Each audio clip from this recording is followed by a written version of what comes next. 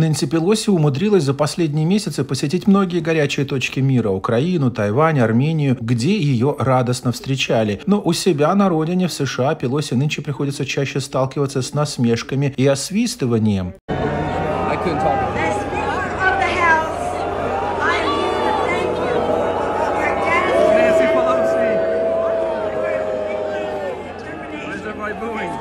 Пока еще спикер Палаты представителей вдруг решила выступить на музыкальном фестивале в центре парка Манхэттена, чтобы напомнить присутствующим о больших достижениях Демпартии, вроде выделения 370 миллиардов долларов на зеленую повестку. Но те не оценили ее слова и стали лишь освистывать.